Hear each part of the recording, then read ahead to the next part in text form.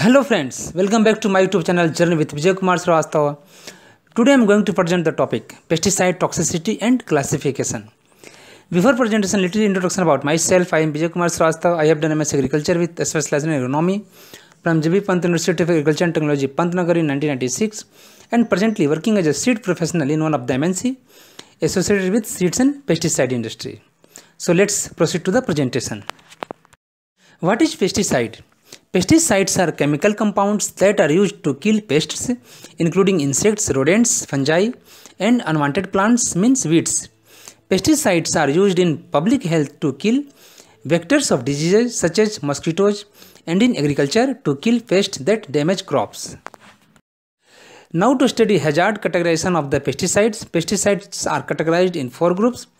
First one is red group known as extremely toxic these chemicals comes under poison marking and having the level of skull and crossbones. Second one is yellow marking having highly toxic nature. These are also coming under poison group. Third one is blue categorization which is under danger level and it is known as moderately toxic and fourth was in cautionary green levels having slightly toxic. The toxicity classification applies only to pesticides which are allowed to be sold in India. Some of the classified pesticides may be banned in some of the states of India by decision of the state government. Some of the red label and yellow label pesticides were banned in the state of Kerala following the Endosulfan. Here we will study about categorization of pesticides. Here also the pesticides has been categorized in four groups. First one is extremely toxic, second is highly toxic, third is moderately toxic and fourth is slightly toxic. In case of first one extremely toxic, the color of the lower triangle is bright red and toxicity class is extremely toxic and overall LD level is less than 50 and signal words is poison in red and warning words outside the diamond keep out of reach of children if swallowed or symptoms of poisoning occur call doctor. Second one is highly toxic group which color of the lower triangle is bright yellow and the oral ld level is 51 to 500 and the signal in words is poison in red color and warning here also keep out of reach of children. In third category it is moderately toxic.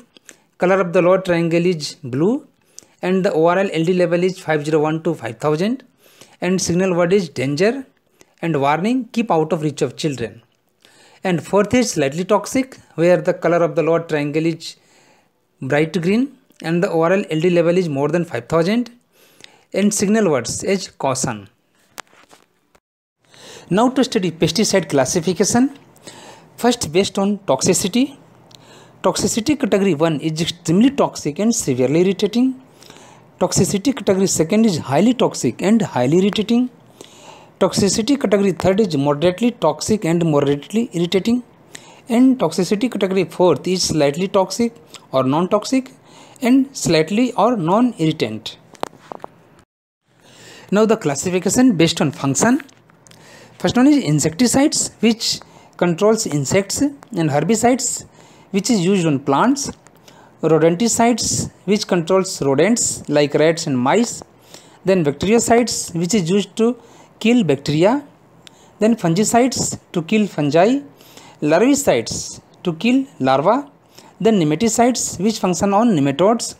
Then acaricides which kills mites. Then algicides which is working for algae.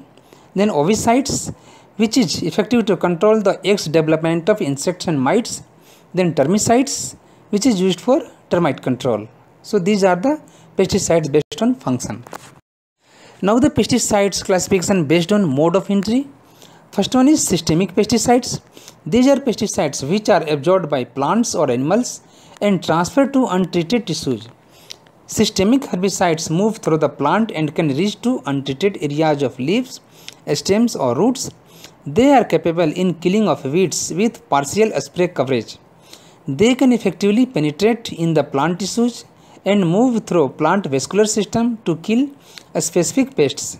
Some systemic insecticides are also applied and move through animals to control pests such as warble grubs, lice or fleas. The movement of pesticides in plant tissues may be unidirectional or multidirectional.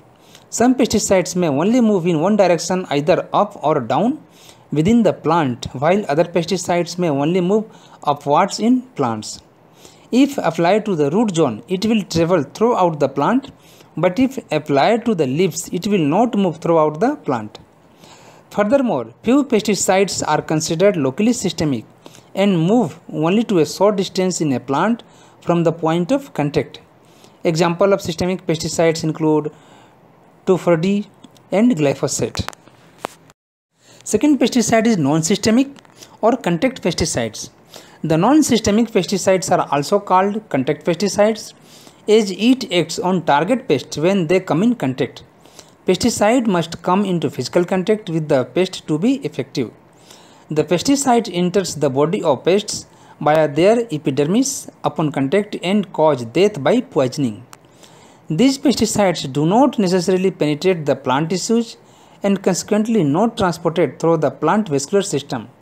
Example of contact pesticides are paraquat and diquat dibromide. Third is stomach poisoning and stomach toxicants. Stomach poisoning pesticides enter the pest's body through their mouth and digestive system and causes death by poisoning. Stomach poisons are acquired during feeding of pests when they ingest and ingest the insecticide applied in the leaves and other parts of the plant. Stomach toxicants may also enter the body of insects through the mouth and digestive tract where they are absorbed into the insect's body. This is more appropriate especially in vector control including bacteria or their toxins applied to the water. When filter feeding mosquito or black fly larva will consume the poison. These insecticides kill the vector by destroying the midgut or stomach of the larva like example is malathion. Next pesticide is fumigants. Fumigants are such pesticides which act or may kill the target pest by producing vapor. These pesticides form poisonous gases when applied. These pesticides in vapor form enter the body of pests via their tracheal system, respiratory system, through aspiracles and causes death by poisoning. Some of their active ingredients are liquids when packaged under high pressure but change to gases when they are released. Other active ingredients are volatile liquids when enclosed in an ordinary container and are not formulated under pressure. Fumigants are used to remove stored product pests from fruits, vegetables and grains. They are also very useful in controlling of pests in soil. Then repellents repellents do not kill but are distasteful enough to keep pest away from the treated areas or commodities they also interfere with pest ability to locate crop now pesticide classification based on chemical composition first one is organochlorine organochlorine pesticides also known as chlorinated hydrocarbons are organic compounds attached with five or more chlorine atoms They represent the one of the first group of pesticides ever synthesized and used in agriculture and in public health. Most of them were widely used as insecticides for the control of a wide range of insects and they have a long-term residual effect in the environment. These insecticides may disrupt the nervous system of the insects leading to convulsions and paralysis followed by eventual death. Most common examples of these pesticides include DDT, lindane, endosulfan, aldrin, dieldrin and chlordane. Though the production and application of DDT was banned in most developed countries, including United States many years ago, but is still being used in most tropical developing countries for vector control, particularly where malaria occurs. Second chemical composition is organophosphates. Organophosphates pesticides are considered to be one of the broad spectrum pesticides which control wide range of pests due to their multiple functions. They are characterized with stomach poison, contact poison and fumigant poison leading to nervous poisons. These pesticides are also biodegradable, cause minimum environmental pollution and are slow pest resistance. Organophosphorus insecticides are more toxic to vertebrates and invertebrates as cholinesterase inhibitors leading to a permanent overlay of acetylcholine neurotransmitter across a synapse. As a result, nervous impulses fail to move across the synapse causing a rapid twitching of voluntary muscles, hence leading to paralysis and death. Some of the widely used organophosphorus insecticides include parathion, malathion, diazinon and glyphosate. Third pesticide is carbamates. Uh, structurally, carbamates are similar to organophosphates, however, they differ in their origin. Organophosphates are derivatives of phosphoric acid, while carbamates derived from carbamic acid. The working principle of carbamate pesticide is similar to organophosphate pesticides by affecting the transmission of nerve signals resulting in the death of pest by poisoning.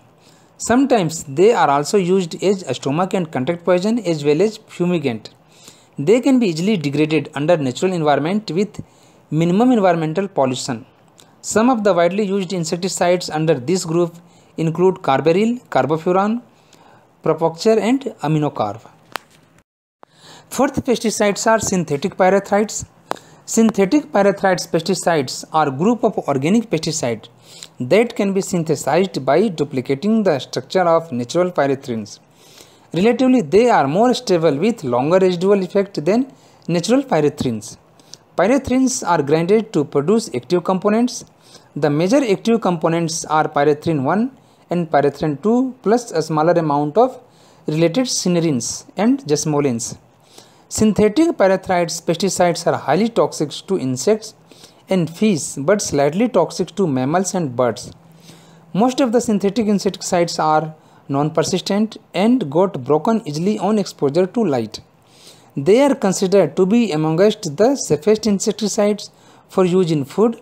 Cypermethrin and pyrimethrins are the most used synthetic pyrethroid pesticides. How do pesticides affect humans? Humans can be exposed to pesticides by breathing it, getting it into their mouth or absorbing it through the skin. Dermal exposure happens when your skin is exposed to pesticides. This can cause irritation or burns. In more serious cases, your skin can absorb the pesticides into the body, causing other health effects. Here we have shown the toxicity category of pesticides. The category of pesticides like highly toxicity, moderate toxicity, low toxicity and very low toxicity has been classified based on acute oral LD, inhalation LC, dermal LD, primary eye irritation and primary skin irritation. And the give the criteria has been given here for the each and every classes. Now to study typical statements for acute oral toxicity. The toxicity category 1 the signal word will be danger and poison a skull and crossbones required and the statement fatal if swallowed wash thoroughly with soap and water after handling and before eating drinking chewing gum using tobacco or using the toilet. In toxicity category second, the signal word will be warning and the statement will be may be fatal if swallowed.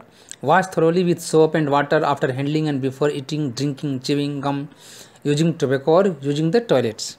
In toxicity category third, the signal word will be caution and a statement will be harmful if swallowed and remaining like above. In toxicity category fourth, the signal word will be caution. It is optional. And in a statement there will be no statements required. Is the restraint may be choose to use category third labeling. Now study typical statement for acute dermal toxicity. In case of toxicity category 1 the signal word will be danger poison a skull and crossbones required. And statement fatal if absorbed through a skin do not get it in eyes or skin or on clothing. Wash thoroughly with soap and water after handling and before eating, drinking, chewing, etc. In case of toxicity category second, the signal word will be warning and the statement may be fatal if absorbed through skin and not to touch eyes or skin or clothing. Wash thoroughly with soap and water and handling before eating like earlier. Now third toxicity category is caution where the statement will be harmful if absorbed through a skin. And in case of toxicity category fourth, the signal will be caution and no statements are required. However, the registration may choose to be categorized like third labeling. Now typical statements for acute inhalation toxicity. In case of toxicity category 1, the signal word will be same like earlier danger, poison, skull and crossbones required and the statement fatal if inhaled. Do not breathe dust vapour or spray mist and wear specially appropriate respiratory protection and in case of toxicity category second the signal word will be warning and statement may be fatal if inhaled and remaining is above in case of toxicity category third the signal word will be caution and statement is harmful if inhaled and avoid breathing in case of toxicity category fourth the signal word will be caution, no statements are required as this is very low toxic and however the resident may choose to use category third labeling. Now typical statements for primary eye irritation. The toxicity category 1 the signal word will be danger, poison, skull and crossbones required and the statement it is corrosive, causes irreversible eye damage. Do not get it eyes on or clothing wear especially protective eyewear such as goggles face shield or safety glasses in case of toxicity degree second the signal word will be warning and in statement causes substantial but temporary eye injury in case of toxicity category third the signal word will be caution and statement will be causes moderate eye irritation in case of category fourth it is signal word as a caution and no statements are required Now typical statement for primary skin irritation. Under toxicity category 1, the signal word will be danger, poison, skull or crossbones required and the statement is corrosive, causes skin burns. In case of toxicity category second, the signal word is warning and the statement causes skin irritation. And in third category, the signal word is caution and the statement avoid contact with skin or clothing. In case of 4, the signal word is caution and no statements are required. Now we will study about first aid statements.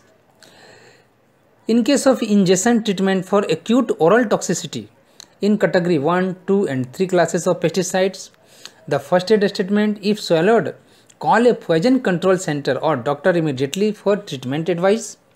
Have a person sip a glass of water if able to swallow.